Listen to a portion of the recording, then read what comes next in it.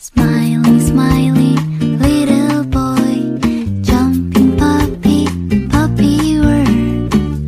Well, like a fairy tale. Hello friends, welcome back. Cha Eun-woo was always been so handsome. A perfect face is what many fans says. But recently, a photo of him on the filming set of Island goes viral. This single photo of Cha Eun-woo was been retweeted over 20,000 times and went viral. In the post, the author posted a photo of Cha Eun-woo looking at a phone held by someone. According to the author of the post, the picture was taken while Cha Eun-woo filmed a fighting scene in his drama Island. In the drama, Cha Eun-woo plays a Catholic priest who fights evil to protect all life.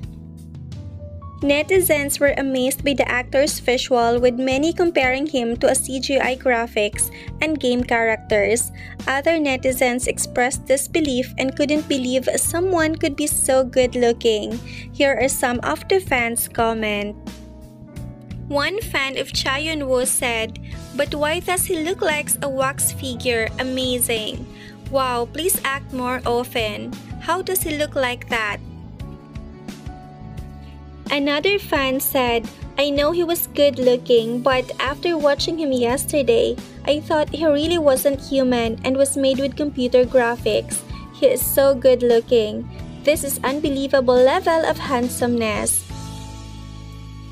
How about you guys? What do you think about Cha Eun-woo's visual? I would love to read your thoughts about this. For more updates, please don't forget to like, share, and subscribe. See you on my next video and have a good day everyone.